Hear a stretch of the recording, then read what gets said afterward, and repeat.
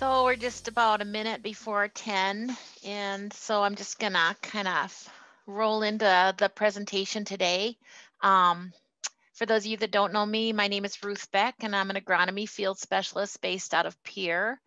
Um, I've been here for about 17 years and um, a great part of my career has been working with sunflower uh, producers in this area. So uh, I've enjoyed that part a lot.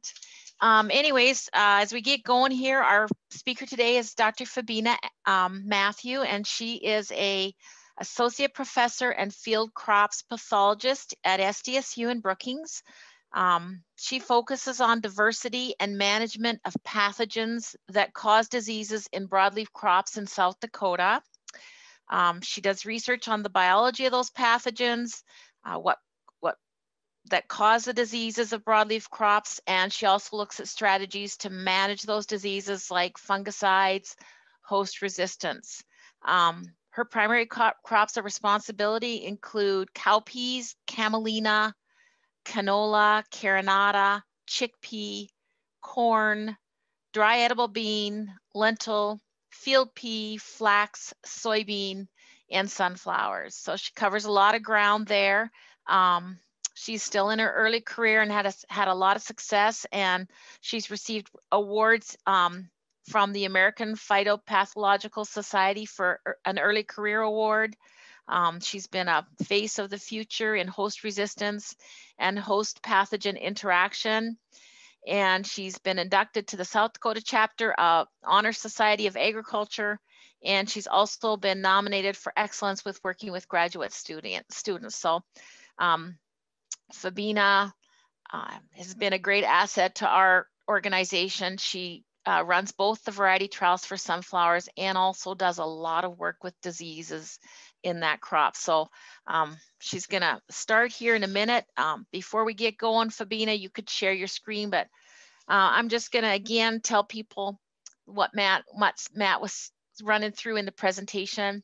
Um, we're gonna, if you wanna have a question uh, and would like to um, direct that to Febina or any of us really who are on today.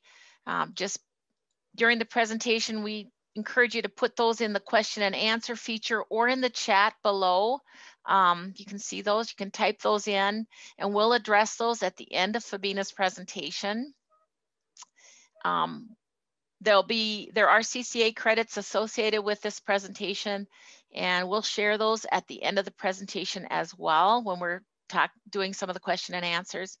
And then if people want to stay on for a while um, after we're through some of those housekeeping things at the end, um, our tech team will make you, um, will bring you into our discussion, I guess, and um, into our room and then you can unmute yourself and you can ask questions if you want and Febina and and I and I see Adam Varenhorst who are our entomologist and Pat Wagner, who's the entomologist out west. Um, we can all, you know, address those questions as they come in. So um, I encourage you to stay on and, and, maybe we'll have some good discussion at the end of the, of the presentation. But looks like Febina's ready to go. So I'm gonna mute myself and I'll let you start, Febina. Thank you, Ruth. Uh, thanks for the introduction. Um, I just wanted to check that I'm audible. Can I get a thumbs up from one of you? You sound good. I can hear you. All right. Thank you, Ruth. Um, well, good morning, everybody. Um, I don't know um, how the weather is in the area that you are, but we're pretty sunny here up in Brookings, and the weather is expected to go up to 50, 60. So it's uh, it sounds like we nearly have spring or summer around the corner. It's kind of getting hot, I believe, but it's just beautiful weather and a beautiful time to think about planting. And uh, sunflower is definitely one of the top crops um, based on some of the data that they have coming in from 2020. Um, it is one of the most profitable crops currently in the United States. And that's good news, especially considering the prices for sunflower in the market, regardless of whether you are planting oils or non-oils. Today, I will be covering two topics, uh, the sunflower growth stages, which is important, especially if you are using fungicides to manage diseases. And then I call it sunflower diseases 1.0. And that's just because, um, you know, of the most of the, the diseases that I will be talking about are the are those that I have seen in the last five years while I've been at um, SDSU. So without further delay, I'm just gonna get started. Looks like my screen's, okay, there we go. So I'm gonna start with the sunflower growth stages. Um, sunflower plants in general, they go through about four main developmental stages. When we take it from the day you have planted the crop until harvest, and those four stages include a vegetative phase, a repro reproductive phase or an adult phase when the budding happens, and then the crop goes through a period of ripening and then finally senescence when the crop gets ready for harvest. So when one as, uh, evaluates the growth stage, one of the key things to do would be to get out to the field and check at the, you know, take a group of plants to make that assessment what growth stage your crop may be at. If you'd use a single plant and maybe look far ahead into the field, you might see that the crop may be at like uh, two growth stages at least. So it's always better to use representative samples. You definitely would want to avoid headlands um, where soil compaction is very common since it can affect the crop growth and also patches of uneven growth. The uneven growth could be because of disease issues or insect issues or fertility or hail damage or anything that can just cause unevenness in the crop production during that growing season. In general, a lot of the commercial hybrids that we get in the market today, they tend to grow very uniform across the field. So it is not difficult to determine the growth stages. And this is like my go-to sheet for growth stages. Um, so what I have here includes the vegetative and reproductive growth stages. So uh, this is kind of number numbered from one through 14. One, um, when the when the seedling phase, as in the seeds germinate and the crop just emerges out of the ground, we call it VE, E standing for emergence. And this would be a V2 stage where you have two true leaves and as we go through the vegetative phase, we typically count the number of true leaves on the plant. So this would be like two true leaves. This would be like four. Um, and then when you see a um, floral head sitting on the plant, that's what we call an R1 growth stage. So it is like a floral head sitting on the plant um, and it is surrounded by four big giant leaves. And then at this stage you have an R2. It kind of mimics the cabbage, if you will, uh, sitting on the plant, really. And then from that floral head is what forms the miniature head. And as we go along, this is different phases of the reproductive growth stages. And when you see the sunflowers literally basically facing the sun, that's what we call the R5 stage. And that's the flowering stage or the bloom stage. But R5 is again broken up uh, into sub growth stages. And so we have, this would be a R 5.1 when the bloom is, when the flower is like slowly opening up. And then this would be more of a R 5.5. And then this is the end of the uh, flowering stage, which we call R, um, R 5.9. And then as you move along, uh, the sunflower starts to go through the ripening phase. And then when it hits the R9 stage, this is, uh, you know, when that is when we say the crop's kind of ready for harvest. So the vegetative phase, typically uh, when we plant in June, as per the South Dakota calendar, uh, the vegetative phase lasts for at least four to six weeks. By I want to say third week of July, early August, the sunflowers are getting ready to go into the uh, reproductive growth stages. And as far as disease management is concerned, the reproductive growth stages are very critical because the timing of fungicide application will make a huge difference when it comes to yield benefit. Um, the R, uh, the R five stage, that is when the sunflowers flower. It's also important to keep track of that decimals, 5.2, 5.7, because even that has role in managing a few diseases that we're going to talk about in a little bit here. Um, as uh, the R5 stage, that is when the sunflower, you know, um, is in a full bloom, looks very pretty, that typically lasts for about three weeks. And then we get to the harvest um, in October, November, really dependent on when you have planted the sunflowers. So that's what the growth stages, and I'm going to quickly switch over the slides to sunflower diseases. Um, so I came from NDSU. I have my PhD uh, from North Dakota, and um, uh, and and and, I, and I'm, I want to say I'm a huge fan of both the bisons and the jackrabbits.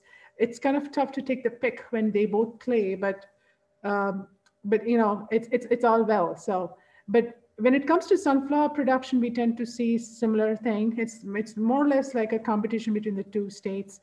Um, in one year, North Dakota uh, beats the record, and next next year it's South Dakota. In 2020, I believe North Dakota led the sunflower production in the United States. Uh, previous five years, that is from 2014 to 2019, South Dakota was number one. Um, but overall, if you include little portion of Minnesota that's in the Crookston area, East Grand Forks, into North Dakota and South Dakota, we have 80% of the commercial sunflower production in the United States. And that's so that pushes sunflower to be a significant crop for the producers in this region. Now, as we talk about North Dakota and South Dakota, um, a lot of this data comes from the National Sunflower Association. This is um, uh, the, the small triangles, circles that you see on the screen on the right side where the cursor is moving. It's pretty much where the sunflower production takes place in the two states. In South Dakota, a lot of the sunflower fields are centered around Pierre area. You look, check the direction, direction if it's in the north, south, east, west. We have a lot of sunflowers that is grown in this area and it tends to expand um, depending on you know uh, if the producers are planting or not. But there is a lot of production that takes place in other states too like nebraska um, colorado uh, right right here and a little bit um, south of that all the way up to texas. So this there is enough production in the united states making it to uh, the total area harvested to be nearly 2 million acres on an yearly basis, give or take. Now, as we think about the number of fields that is in the Dakotas or uh, compare it with what they have down in Texas, one of the key things to remember is that we have cooler conditions up in the north. Compare that with the um, conditions down in Texas, with the exception of the um, the um, storm that they had in the recent weeks, um, they tend to be relatively drier and warmer compared to us. And as a result of that, we do see different types of diseases occurring in the north versus south. So as an example, you've got downy mildew, uh, Phoma black stem, Phomopsis rust, sclerotinia diseases, but head rot's been picking up in the last couple of years that I have seen in the Dakotas. Um, and compared that with Texas, rust, dust, and phomopsis tends to be common, but we also see rhizopus head rot and verticillium wilt to be more prevalent um, in the south. So today, uh, what I have uh, would be a list of, uh, I've got about uh, five diseases that I'll be talking about. And these diseases are being um, in South Dakota, I want to say like in the last five years, I've seen several of these diseases affecting farmer fields. So I have uh, Phomopsis stem canker, rust, sclerotinia diseases, um, downy mildew, and Phoma black stem. So for Phomopsis stem canker, my program does uh, a lot of research on Phomopsis. We look at both fungicides and host resistance. This particular disease was described in the United States in mid 1980s, um, I want to say, and it was kind of historically dismissed off because it, the prevalence was very low. People didn't see anything uh, that the disease was doing to compromise yield. But suddenly came 2010 when there was a disease epidemic and it did crush the production in the Dakotas and Minnesota. So what Phomopsis really does is that when we think about symptoms, it shows up on the plant when the sunflowers are at the R1 growth stage. R1 growth stage is where the miniature floral head is. And I will have a follow-up picture here in a little bit. But it begins with some necrosis that is developing on the leaf. And over time, what you would see, the necrosis moves along the veins to reach to the petiole. And then it forms this characteristic canker-looking lesion on the sunflower stem. It's kind of hard to tell from looking on the leaves whether you have stem canker or not because there are several diseases that can mimic the same symptoms. So um, this lesion on the stem is a telltale way of saying you've got phomopsis and you usually don't see that until the flowers are blooming. So this is an example um, of a field that has been taken down by Phomopsis, and this is uh, uh, this is actually in Brookings. I have a Phomopsis nursery that's just five minutes north of the campus, where we do a lot of the fungicide evaluations and screening germplasm for resistant to Phomopsis. But this is what it does.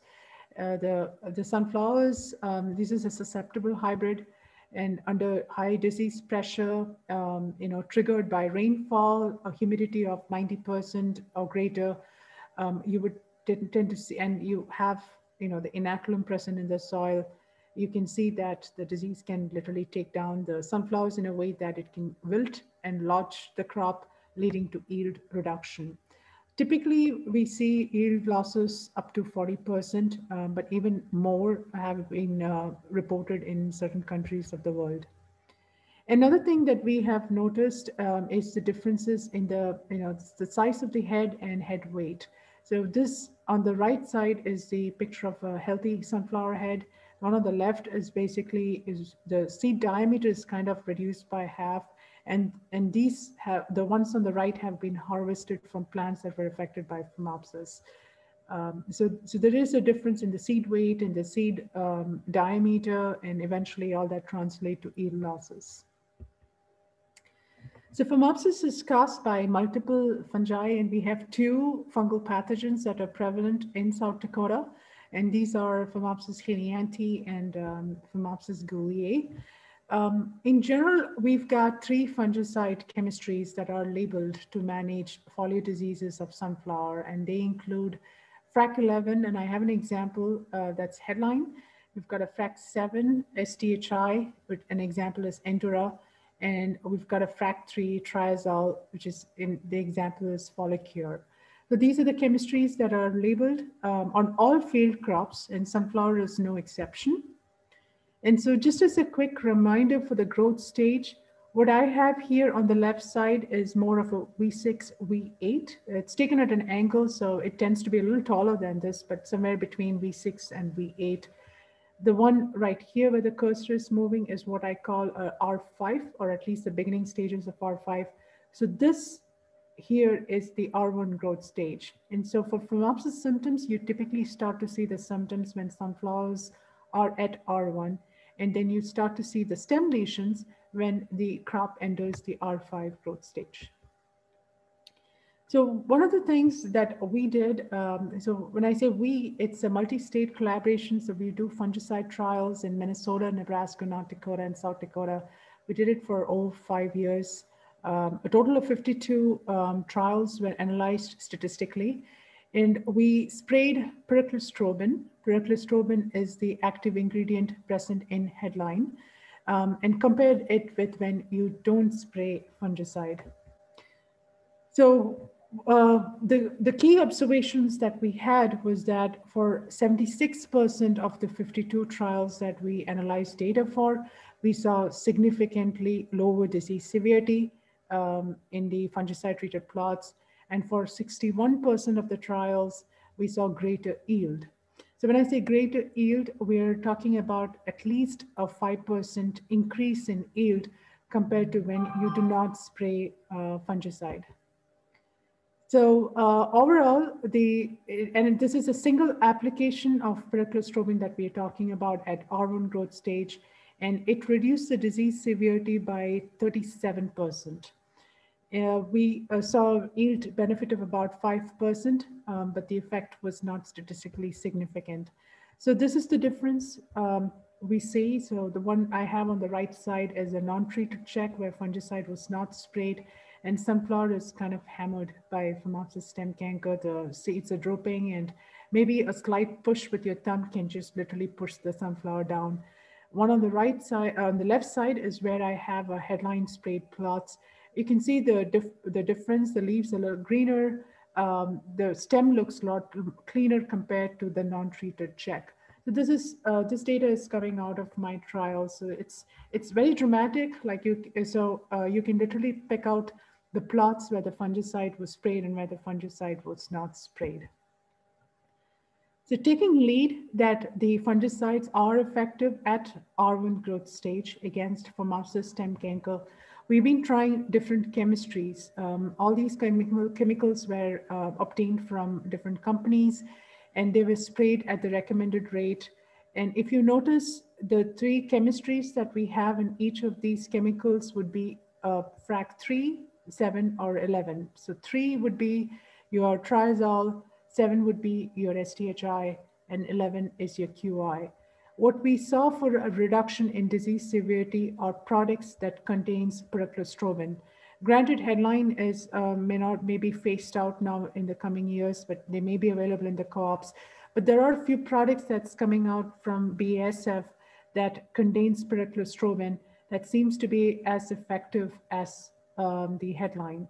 But overall, what we saw was a significant reduction in disease severity. So in here, taller the bar means the uh, the disease pressure was high, no fungi the fungicide did not work, but short of the bar means the fungicide had some effect on it. In terms of yield, um, we are looking at taller bars. So the non-treated control, meaning where the fungicide did not, uh, was not sprayed, did not yield as much. This was a confection hybrid, so we're seeing only a 1500 pounds per acre. Compare that with any product containing pyraclostrobin, we're at least seeing a 200 to 500 pound per acre increase.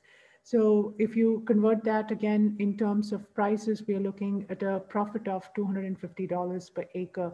If, uh, if especially if your field has got a history of Phomopsis stem canker and you choose to spray a fungicide containing pyraclostrobin at R1, a single application can basically do the wonders. The other few things that we did as part of the fungicide trial, and I'm going to take uh, you through a little bit of science here. So um, I don't know if anybody has ever often wondered why a leaf, um, especially when it comes to diseases, why do we see these three categories? So You have a dead leaf, a stressed leaf, and a healthy leaf. Now we see a healthy leaf to be green. That's just because the light that falls onto the healthy leaf uh, usually reflects two type of radiations, two type of radiations of different wavelength. That is your green and your near infrared. So typically the near infrared tends to be a little longer as compared to green, but just because our eyes cannot pick up the NIR, which is the near infrared, we can only see the green portion. So a healthy leaf appears to be green. Compare that with a dead leaf or a stressed leaf, the near infrared is not reflected as much. And so we don't necessarily get to see any of the, uh, we don't uh, get to see the color at all on the leaf. And that's why we call it a dead leaf. So picking up on this is how the remote sensing technology has been built up. And we've got a couple of uh, tools that we play with. One is called the Green Seeker. And I don't know how many of you have used this, but this is a very common tool that uh, people typically use to assess the nitrogen fertility in cereal crops, at least based off the research that's out there. Um, and so one of the things that we did this past summer was to see if GreenSeeker could be used as an alternative to us telling if the crop is doing well or not. So the key thing to remember is that when we stand out, to look at our plots uh, or look at the crop in a field, you know, if we pretty much go with what our eyes can see, but we can only see the seven colors. So something that is green is only going to be green. But what this tool does is it's going to quantify that greenness and tell us if the crop's healthy or not. It may not necessarily tell us that the crop is affected by soil fertility, soil compaction, diseases, insects, but it's just going to tell you if the crop's healthy or not. So you can relate this to like a thermometer, for example. Like if your body temperature is greater than 98.6, we say we are, we, we are not feeling well, we've got flu. Similarly, if uh, this tool gives you a value anywhere between 0.6 to a negative value, it's a sign that your crop probably is not doing well. Ideally, the this value that we see on the green seeker is called NDVI, and you ha can have values anywhere between minus one to one. So anything greater than 0.65 means the crop's doing very well. Anything below that means the crop's struggling a little bit. And one may have to go out there and check to see what exact factor is compromising the health. Another few things that we did is the use of drones. Um, we've got multispectral sensors in the uh, department. Um, they are cameras that kind of takes pictures um, and this is just recreated uh, from, um, uh, from one of the company websites. You can see there are two different colors that's out there. One is called the NDVI and another is the NDRE. The difference really is in the wavelength that the sensor picks up. So the NDVI reads off the near infrared and NDRE reads the red edge. The purpose of both the vegetation indices is the same. They are really indicators of crop health um, this is really helpful when you have thousands and thousands of acres of land. It might be a little difficult to get out the green seeker. For the purpose of research, green seeker is great because we could just you know quickly run it and get a feel of how the crop's doing. But if you have thousands and thousands of acres, getting a camera might be beneficial. And that's where the multispectral cameras come in. Um, so the values tends to be the same between the two vegetation indices, uh, minus one to one typically. Um, the only difference between the two is NDVI is good if you want to assess the top part of the canopy.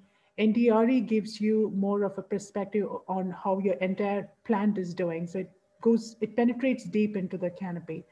But if you are totally new to this remote sensing technology, these are some of the tools that is out there that can be used for starters. And then um, if you decide that I want to specifically know if I can differentiate between, say, diseases and weeds, for example, then you've got new technology that's coming out, like, for example, the hyperspectral sensors or artificial intelligence.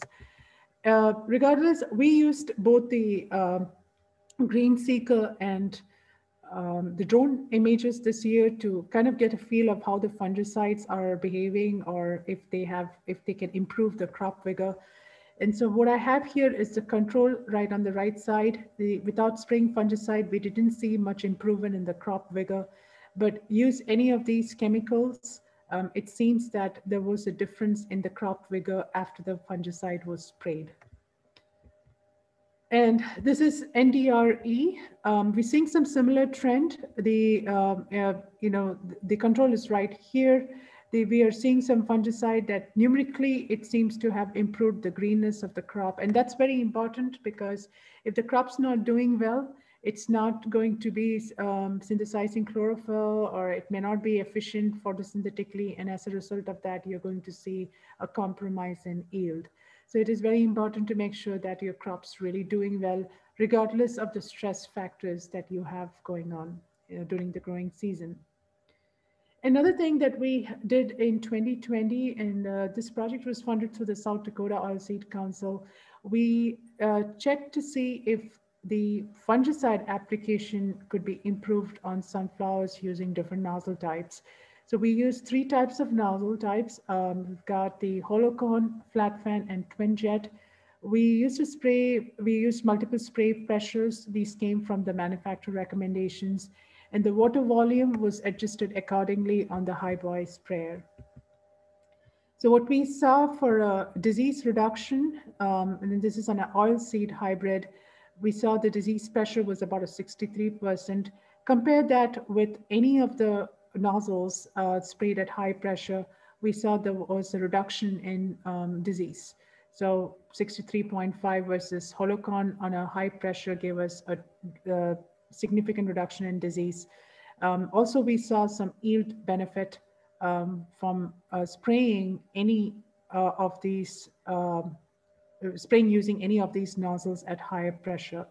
So some of the examples would be hollow cone at 90 PSI or flat fan at 55, 90.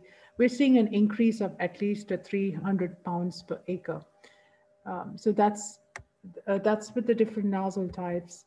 We also tried the same on the confection hybrid. We did see some reduction in disease, um, especially when you use the nozzle types at a higher pressure but we did not see any differences in yield. Maybe numerically you would see some differences, like for example, when fungicide was not sprayed, it, was, it gave us about a 2,000 pounds per acre.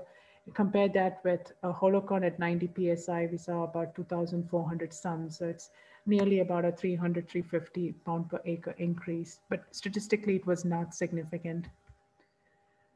So with uh, so that's with the fungicides. Uh, so we've got like one chemistry that is working. Um, we recommend spraying pyraclostrobin at R1. You're free to use any nozzle types, but but preferably at high pressure. Um, but one of the things that we want to really emphasize on is the use of hybrids, especially if you're into organic farming. Hybrid selection is very important. Um, this is something that one could check with the seed dealers to see if there is resistance available with Phomopsis stem canker. Most of the commercial hybrids that we have available in the market today have got partial resistance, meaning they don't have complete resistance to the causal fungi, but they can tolerate the disease to a certain level that you will still see some yield benefit. Also, the other factor that we strongly, strongly recommend is crop rotation.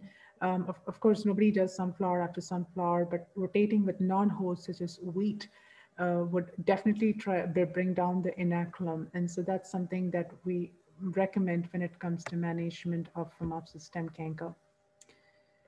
So um, that's Phomopsis. Um, another disease that is of economic importance is the sunflower rust.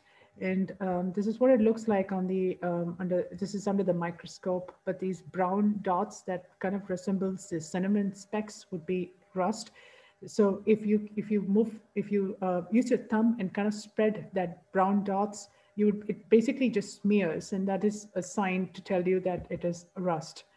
Um, this is on the underside of the leaf. This is a leaf that is totally covered with rust pustules. Uh, this is another picture of it.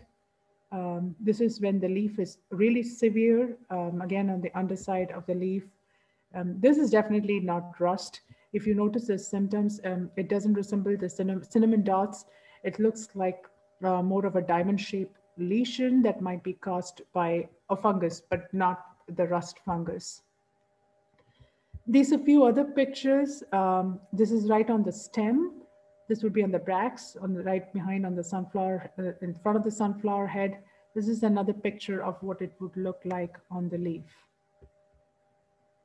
So again, with a, with a friendly reminder on the growth stage, what I have here on the right side is R1, and if the sunflowers bloom, we've got the R5 growth stage. And with that thought, um, one of the things that we do when before we spray for fungi, rust fungicide um, is that we do check the disease severity uh, for it.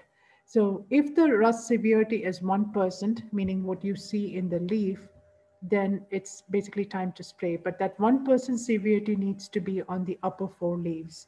This is a little different from um, stem canker, from Phomopsis stem canker, where we do not assess the disease severity. When the crop is at R1 growth stage, we spray. But for rust, when the crop is at R5 and the disease severity is about 1%, like you would see in the leaf, that would be the time to spray against rust. Um, so one of the, uh, this, is, this research is out of North Dakota. And uh, one of the research uh, that was done by Dr. Sam Markell is where he, he tried to spray fungicide at multiple growth stages um, before and after R5.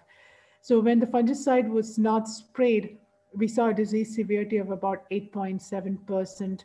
And at R5, the reduction is about a 1.3%. So there is definitely a yield difference when you spray at R5 compared that with spraying earlier or later.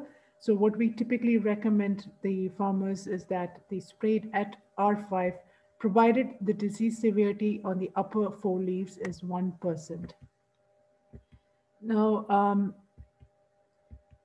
so in this case here, um, if you consider spraying after the R5, meaning after the fact that the sunflowers are done with bloom, we were not able to reduce the disease in any ways, and we did not, and we saw the yield was basically dropping. So any fungicide application after R5 is, doesn't seem to be economical. Now for this trial, the research was done using headline. Um, and besides headline, the other uh, chemical that can be considered would be the use of a triazole. This is a picture uh, from uh, one of the NDSU trials. So what I have on the left side would be the uh, uh, plots where fungicide was not sprayed. There is definitely a mix of phomopsis and rust on these trials, but compare it with when headline was sprayed at R5, they, we did not see much of rust pressure. So that's the difference uh, between spraying fungicide versus no fungicide. Um, so for rust, the in addition to the QIs, triazoles are also effective. Again, the rust severity, if it reaches 1% person of the upper four leaves at or before R5, you would want to definitely consider fungicide application. Now, most commercial hybrids that are grown in South Dakota have got resistance to rust. So this would be an information that will be with the seed dealer. It is very important to manage rust if you've particularly seen rust issues in your field Unlike what we see on wheat, like the stem rust or stripe rust, it is not necessary that the spores are going to blow from the south onto your field. It could be that your neighbor must have had it in your in the, in the previous season, or uh, or or you probably have it in your field this particular season, and it can just start from your field itself. It doesn't have to blow from a different state to affect the crop. Another disease uh, that's been of big importance here in South Dakota, maybe gaining importance, um, but relative to North Dakota, it's not been so much of a problem. And that's just because this particular fungus, what we call the Sclerotinia sclerotiorum, loves moisture. And South Dakota, fortunately, can be drier compared to uh, North Dakota. But it, maybe in the last two years, we have been starting to see um, issues from Sclerotinia wilt or Sclerotinia head rot. And many of you can relate this particular disease to what we see on soybeans or any of the other broadleaf crop. It is popularly known as white mold. So white mold is it's in, on, on sunflowers, it's got three different uh, names for the same disease.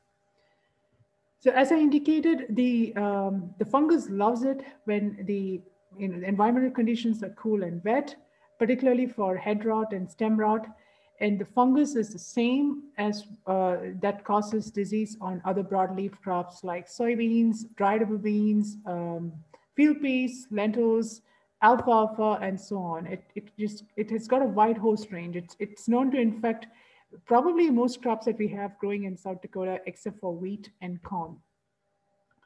So this is just a just a dramatic uh, visual on what it looks like. There are uh, this particular fungus causes three different diseases on sunflowers.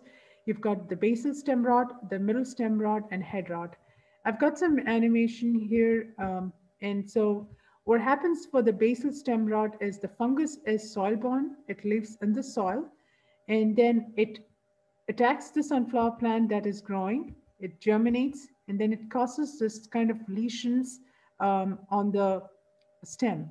And when you cut the stem open, you can see these black bodies, what we call sclerotia. That is an easy telltale way of the fact that you've got sclerotinia in your field. And these are another picture, some close-up pictures of what it looks like, basal stem rot or sclerotinia wilt. This is the base of the plant, and you can see this black bodies right here. You've got a white cottony thread of the fungus that then converts to these black bodies over time. Then you've got the mid-stem rot. Same process, the fungus is soil-borne, um, but then it also produces what we call the apothecia that releases the spores, and then it infects the um, plants in such a way. This is the apothecia. It infects uh, the plants by through the leaves. Sometimes you can see this kind of lesions on the leaf. Um, and then um, it can also be that the spores are transported in, by the wind or any other source to land on the stem and cause this sort of bleaching right on the stem.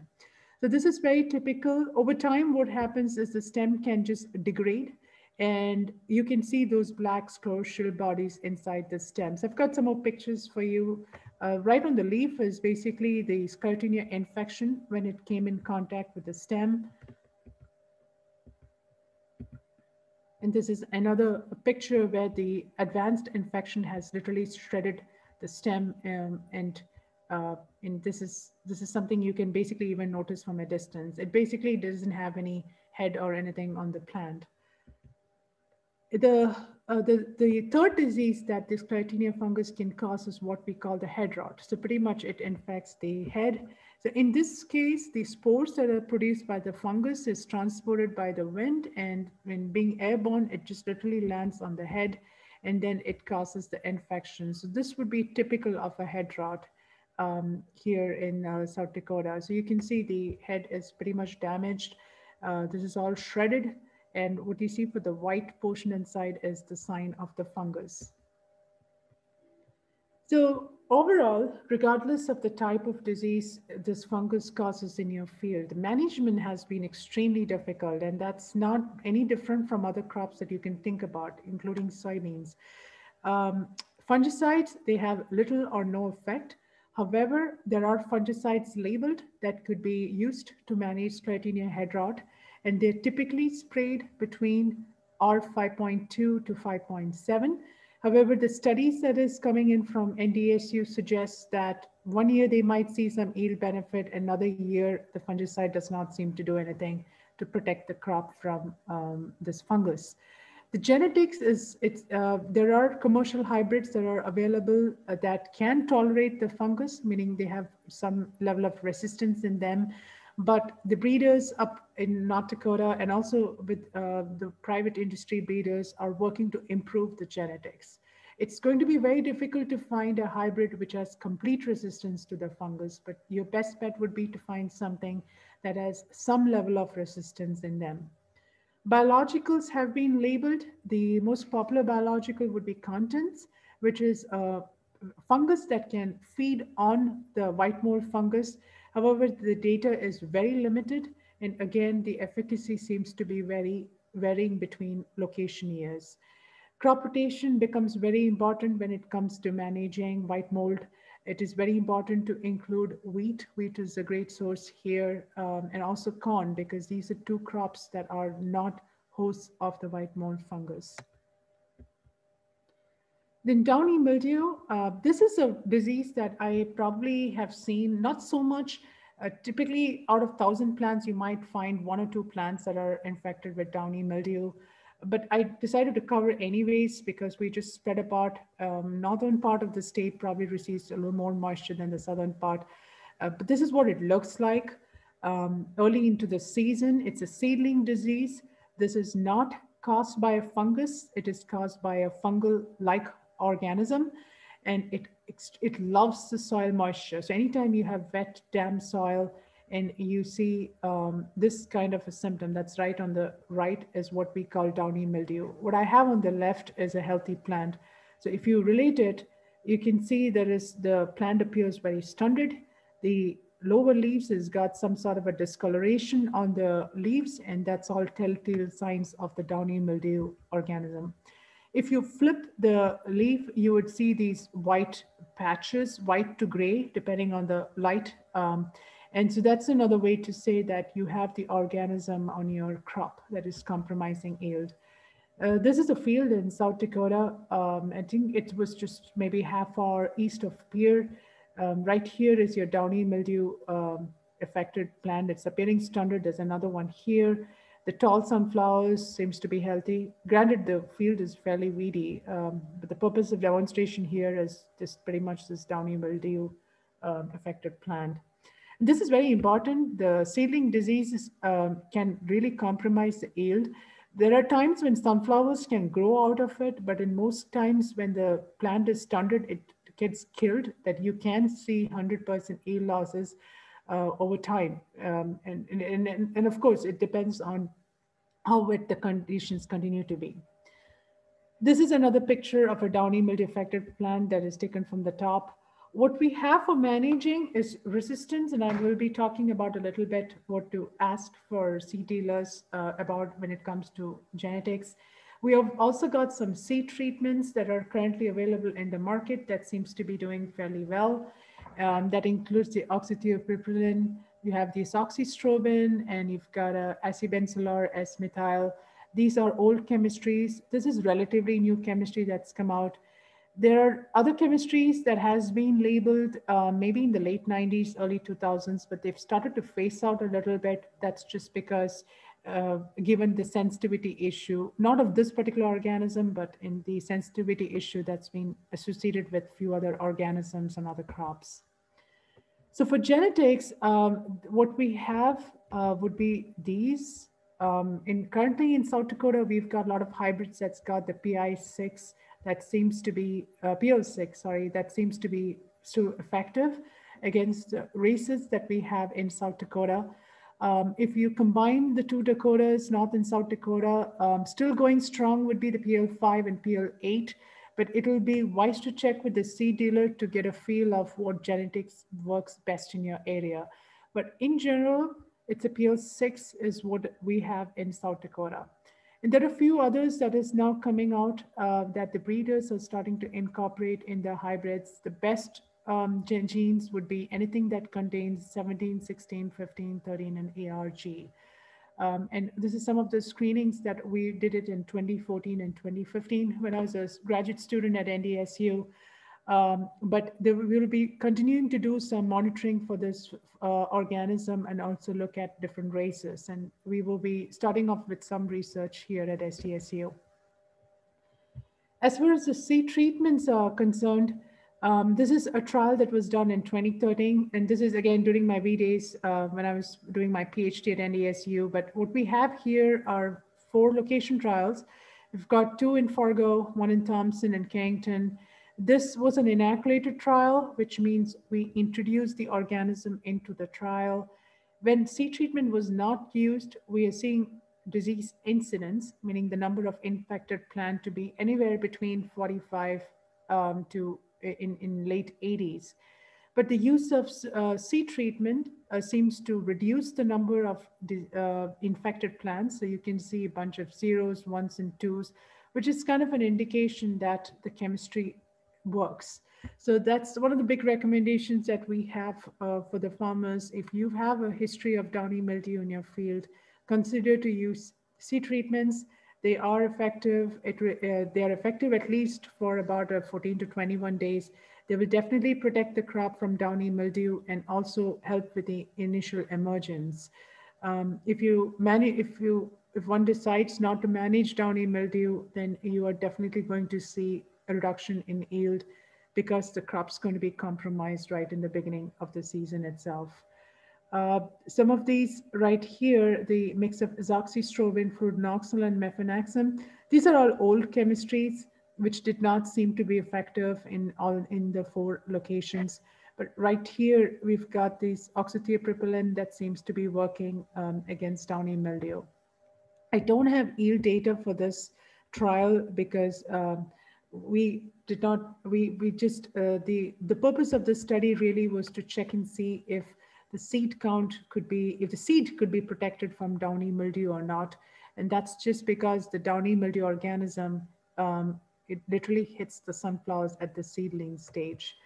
So out here, uh, this is what it looks like for downy mildew. So this is our inoculated trial where the organism was kind of introduced into the field. Compare that with any of the plots where the seed treatment went in, you can see a big difference in the, uh, in the seedling growth. So this is at the late vegetative um, stage. Um, we, this trial was again repeated in 2015. Um, again, we're showing that the oxathiapiprolin seems to be effective against downy mildew as compared to the azoxystrobin, um, which is the QI chemistry.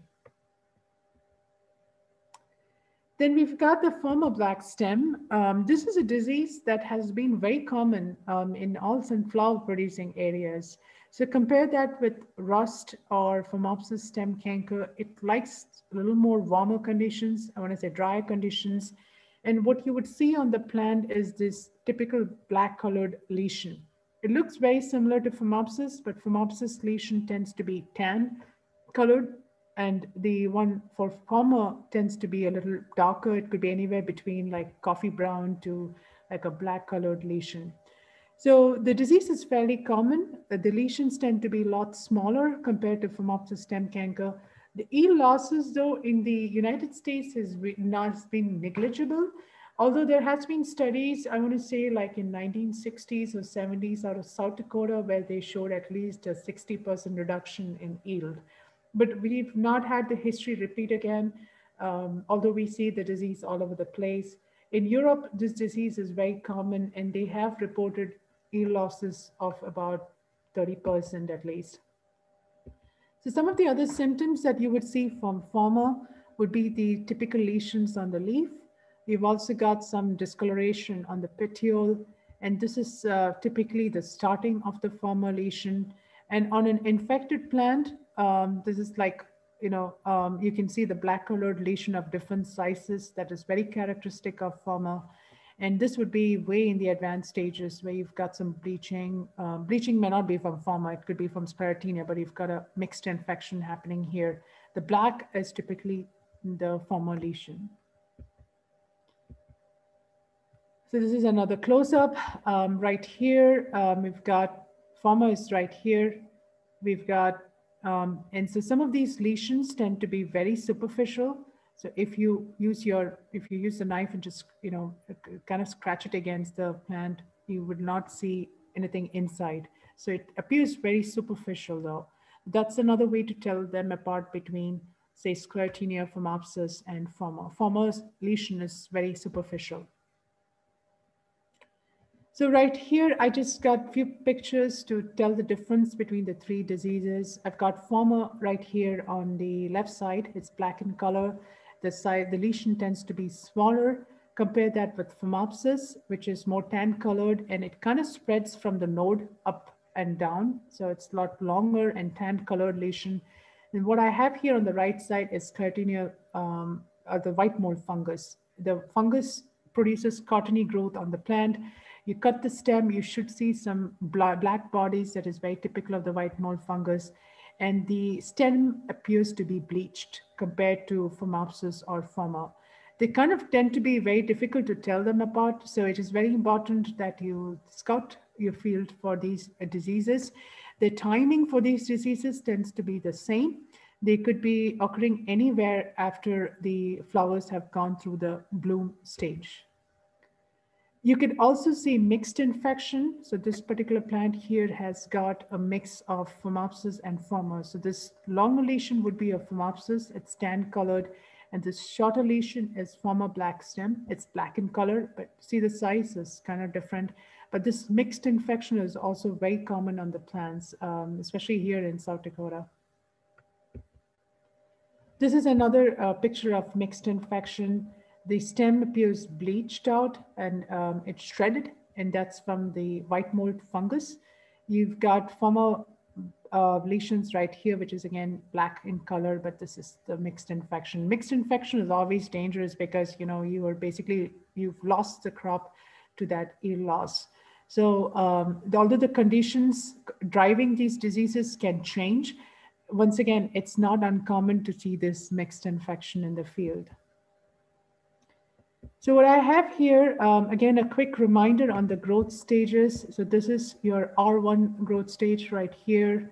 You've got the R5 right here. And then this is going to be like a V8 growth stage. It is basically the number of true leaves, but there is no head, no floral head, uh, miniature floral head or a bloom that's on the top. So this is the vegetative phase. You've got the two reproductive growth stages right here. Um, so what we've done, um, so this is again data coming from North Dakota. So one of the things is we initiated a few fungicide trials for um, seeing their efficacy against Phoma black stem.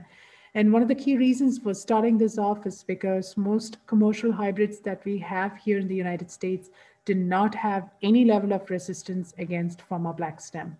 But again, Phoma black stem is not uh, something uh, is it does not cause as much e losses as one can associate with white mold fungus or Phomopsis stem canker. Regardless, given the history, like it's happened in South Dakota one time, or it is a very common disease out in Europe, we decided to try to see if there are any fungicides that are working. And as part of this study, what we have done is uh, we have used multiple timings so you've got a V8, which is your late vegetative, R1 and R5. And we have also used combinations to see if two applications, three applications are going to work. So this was pyraclostrobin, that's your headline at six flower lawns per acre. what we saw uh, was a big reduction again at R1 growth stage. And of course, the two applications also seems to reduce the disease much lower. Excuse me. In terms of yield, a single application, um, you are able to see some numerical differences. Right here, it's probably at least 100, 200 pound increase if you spray versus you're not spraying. But it seems like two applications of the fungicide or three applications of the fungicide seems to do well. But QI is a group of fungicide that we know wherein fungi that infects or causes disease on most crops have the tendency to develop resistance in the long run. So we don't typically recommend that farmers use QI fungicides in sequence, meaning you don't want to use like two, three applications in a growing season. Up to a single application, um, it seems that the products containing QI is effective against diseases like Phoma black stem or, or Phomopsis stem canker. Uh, this is another, um, and this is from a subsequent year 2018 to 2019. Um, again, different chemistries was uh, tried at um, R1 growth stage. Uh, uh besides the QI, just given the history of um, the uh, of QI uh, inducing resistance in fungi in other crops, we don't have any reports on sunflowers, but we definitely do have reports out in soybeans and um, in other crops in, from other states we have one of the things that we are doing is to try other chemistries. And so in this research eh, from this particular location, Davenport, North Dakota, we also saw there was a significant reduction in disease severity when SDHI, and many of you would relate that to Endura, which is also used for uh, spraying against white mold, seems to be effective against Phoma black stem. So what this graph is, uh, the non-treated control is usually you have a disease index of, of five. Um, and as smaller the bars, it means that the fungicide is effective against the uh, disease. Um, this is in terms of yield. So in yield, this is a non-treated control. We got a hardly a 2,300 pounds per acre. Taller the bar means the fungicide is working. And there are several chemistries that seems to be giving us at least a 400 pound per acre increase. And they include the QIs. Um, you've got like a combination of SDHI and DMIs. And um, you've got other um, chemistries too that's working, a combination of triazole, SDHI, and QI. So there are chemistries out there that seems to be working against Phoma black stem, and that's always good news for us, especially when we don't have genetics available that can protect the crop from fungal diseases. So in summary, what I have, uh, these the diseases that I mentioned today, uh, that includes the Phomopsis stem canker, rust, sclerotinia diseases, downy mildew, and Phoma black stem, they have gained a lot of importance, at least in the last five years, not just in South Dakota, but in, but in, in the major sunflower producing states in the United States, which includes Minnesota and North Dakota. Um, management options based off this presentation may sound limited, but it is always best to check with seed dealers on the genetics that we have available. We do have some level of resistance available to Phomopsis stem canker and Sclerotinia head rot. There's also resistance available to rust and downy mildew. What we may not have resistance would be to Phoma black stem or any other diseases that you can think on on sunflowers. That's where crop rotation becomes very important. Um, wheat is a great uh, crop to rotate sunflowers with because many of the diseases that I discussed today do not infect wheat. The rust fungus that infects wheat is different from that the one that infects sunflower.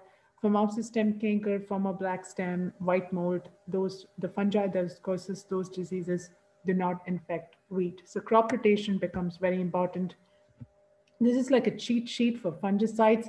They are not going to be uh, like a like a silver bullet, but they're definitely an option while we work towards improving the genetics that we have for sunflowers. Um, so just as a summary, uh, Phomopsis stem canker, we recommend a single application of a QI, specifically pyraclostrobin at R1.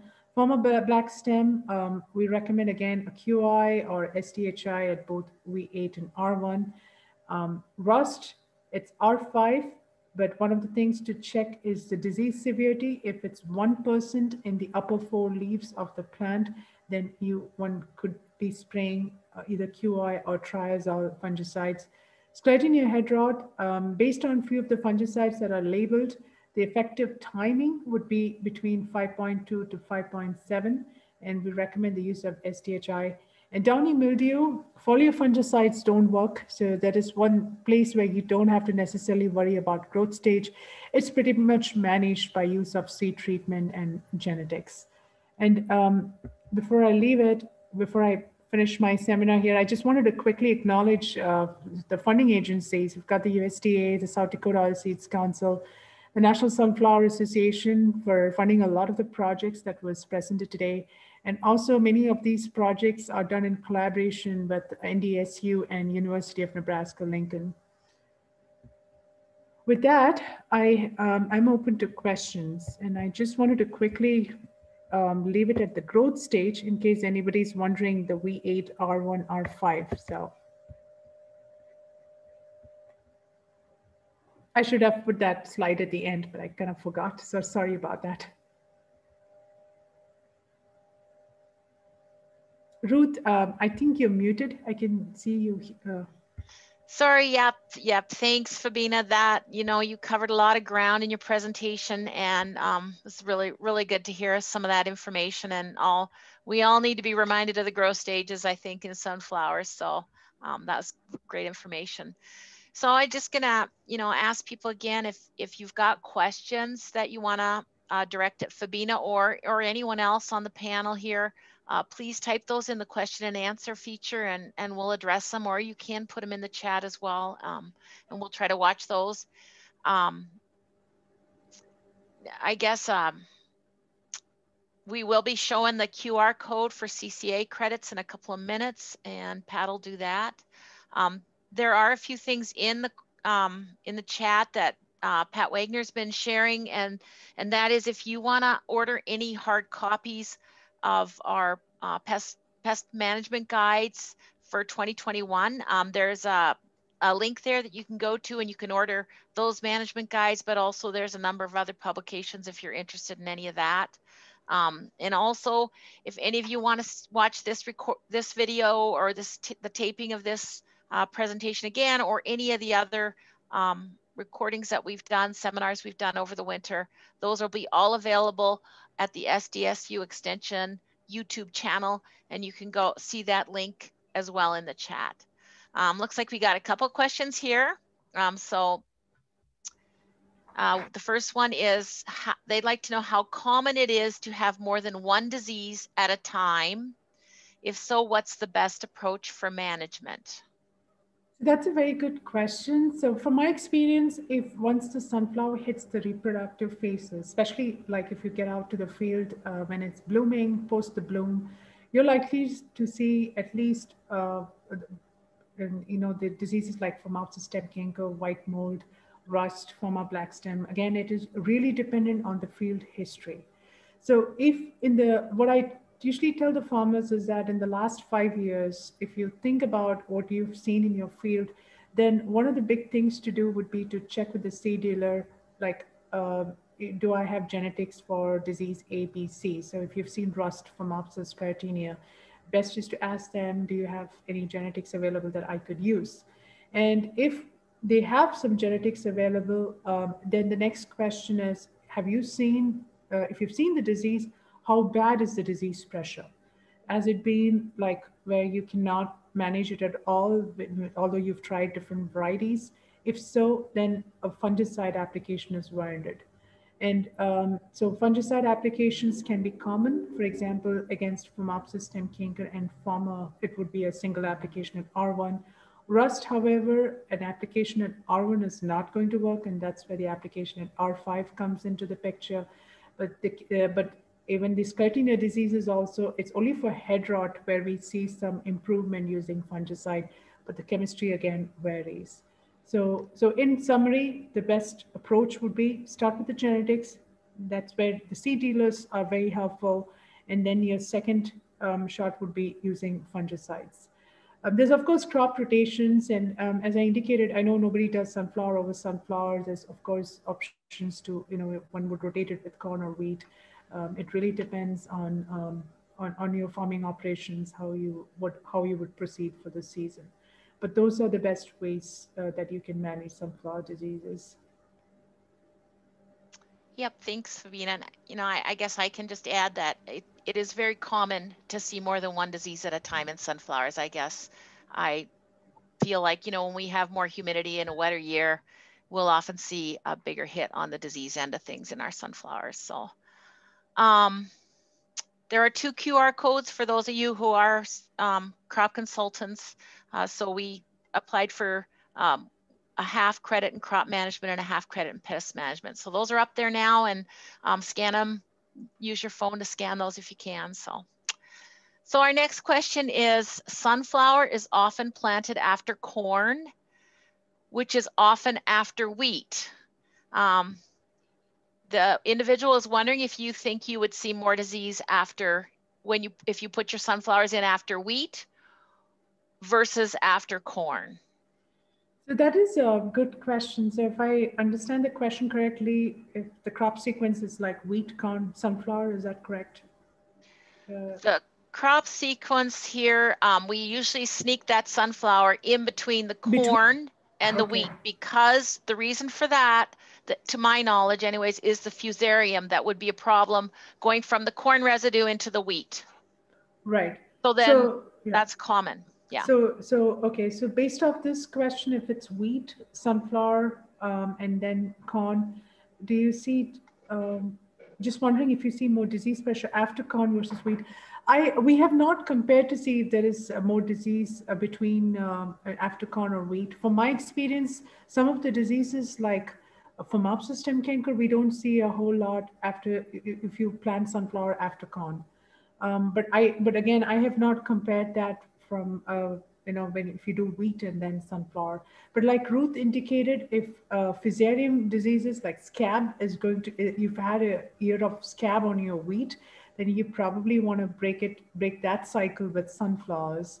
Um, and then the following year um, it again depends back on the disease history if you have for example white mold and you've done soybean wheat and then sunflower, and you've seen some white mold issue on soybean, and then you are probably going to be setting up the sunflower to be susceptible to white mold, provided it's going to be a wet year. Um, but um, that's, I guess that's the only comment I have there. I don't know, Ruth, you have more to add on that? I don't know if there would be a sunflower grower on the call that might, when when they become unmuted, could comment. But my understanding was that wheat used to be planted, sunflowers used to be planted after wheat. But then when we started to see more head scab in the area, that's when they, uh, or sorry, corn used to be planted before wheat or after wheat. But then we started to see more fusarium issues. So that's when they placed the sunflowers between those two crops. And that has helped, is my understanding. But again, I, I don't know that I think that was more before my time or early, very early in my career. So uh, some of the sunflower growers may recall that. But, um, so the next question is they're asking if Priaxor or Astrobi would be better return on investment. So that, that's a good question. So Priaxor has got the same strobe as what you would have um, in headline. Um, and so as far as the return on investment, when we have evaluated Priaxor against like uh, Phomopsis stem canker or, uh, uh, you know, like Phoma black stem, um, the yield benefit is anywhere, it, it's, it's the same. It's like 5% or 6% um, you know, compared to your check where you have not sprayed the uh, fungicide at all. So, so the effect is the same the Strobi is present in the Priaxor already, so. Okay, um, I don't see any other questions. Um, there is a survey there that we appreciate if people just take, you know, a moment or two to fill out. Um, we've been getting a lot of information from the surveys from this winter, and that really helps all of us to, you know, direct our our future activities and and know where um, the producers in South Dakota, um, you know, what what they're looking for to hear from us. So that's gonna, if you guys would take a few minutes to fill that out, we appreciate it. Uh, I have a question for Yes, for you. Febina. So Yeah. you talked a little bit about um, the sclerotia bodies in the soil.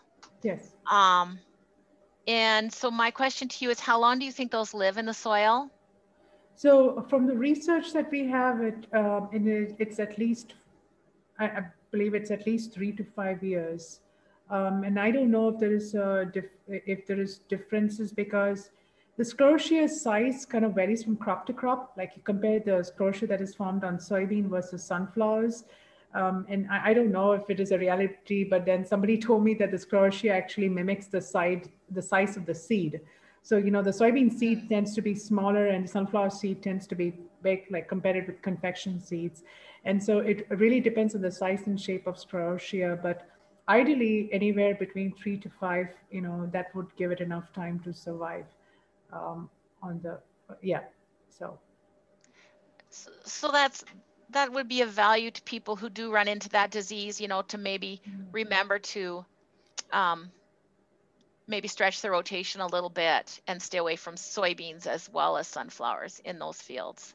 Right, Would, right. would you yeah. say? Yeah. Yes, I would. Yeah. Um, I, I don't know how much uh, alfalfa is popular in, you know, in that area, but I do occasionally see that coming up. Alfalfa also could be a good host of this uh, white mold fungus. So Yeah. wheat and corn would be your best bet. Uh, even the pulse crops like pea, lentil, chickpeas, they're all good hosts of uh, white mold. Although we don't see it in South Dakota, like it's been, you know, it's it's known, it's a known fact that they could also host um, canola is another one. We don't have a lot of production of canola in South Dakota, but that's also another crop that's very susceptible to white mold. Mhm. Um, but but the research just varies uh, uh, on how long the sclerotia can live in the soil. But my understanding of sclerotinia and sunflowers has always been that it's a much more complicated disease because it has three different ways of entering the plant and is the plants don't respond to a fungicide application like we would see maybe in soybeans and and um, canola. That's right. I think one of the major challenges we have with spraying fungicide is uh, the you know the architecture of the plant. I mean, the crop looks way different from like spraying spraying it on soybean or wheat or corn. And so a lot of the times we uh, would think that uh, we have the right um, equipment. You know, you know, it's still a ground sprayer or an aerial spray you would use to spray fungicides on sunflowers.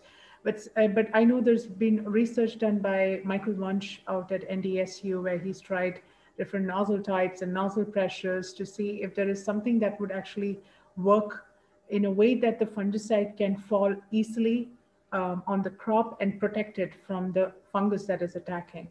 So that's been a challenge, and that's where you know um, we, we're seeing some efficacy um, against Sclerotinia head rot, but we have not been able to establish that the fungicides are going to work against mid-stalk rot or basal stem rot because we just can't get the fungicide that far into the crop. So Mhm. that's been a major challenge uh, with fungicide application. Mhm. Okay, yeah, um, we, we had, you know, some issues, um, the year 2019, but other than that, I I feel like sclerotinia, we've been somewhat fortunate in central and western South Dakota. And I, Yeah. I think it's our dry conditions. Yeah, I know. I agree Sometimes- with you, Ruth. Sometimes we complain, but there's some benefits too, so. Yep, I agree with you because I, I've you know coming from North Dakota, I've probably seen more uh, head rot up there, uh, up north, or, or in Minnesota area than I've seen here down in South Dakota. It's just that one year when we had the NSA survey, when I saw quite a bit of uh, sclerotinia here and there in the fields. But it's not like the entire field is just like you know a section. Like you can count on the on your finger like number of plants that might be affected. I don't know if I've seen anything dramatic. Okay, um, there is another question in the chat here. Um, somebody is asking, um, are there any disease control trials of alternaria leaf spot done in South Dakota? So one of the things that we are starting in 2021 would be to assess the efficacy of fungicide against alternaria leaf spot, and that's in my list of things to do. Um, it's, it's not been an economically important uh, disease in the United States. Um, uh, the uh, alternaria leaf spots, there's not been a lot of attention given to that. Uh, but it's a disease that we get asked over and over again as we present on sunflower diseases in multiple states. So it's something on my list of you know things to do for this season and to get some data. So soon you will be have you will be able to see some data for that um, in the coming years. Yeah. Um, I don't see anything else at the moment. I don't know if um, we could we could probably put people in the chat room now, Matt, if if that if that's okay. And and then if people wanted to unmute to join us um, and unmute and ask questions, I I know there's a lot of sunflower people growers on the call and um, I really respect all the you know the things that they've taught me over the years. So i i hope some of them i'm on, on mute maybe provide some comments or some of their tell us about some of their experiences or thoughts. And tomorrow we're going to have um, adam Varenhorst, our um, sdsu entomology specialist. And uh, he's going to talk on above and below ground insect pests in sunflowers so i hope those people who are on today will come back tomorrow and and join us again so but um, so I don't I don't know if anybody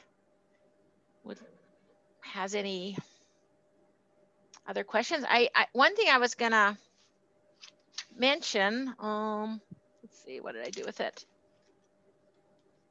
Oh, I was just gonna show people that I don't know if you can see this is a great disease. It's hard to see, but it's a flip book. Uh, Febina is one of the authors on it. It was produced. It's got all the sunflower diseases. It's got great pictures. Um, we have them here in the Pierre Center. If people are interested in, would like one, they can contact us and we can mail it out or get it to you somehow. So um, it's it's a great document.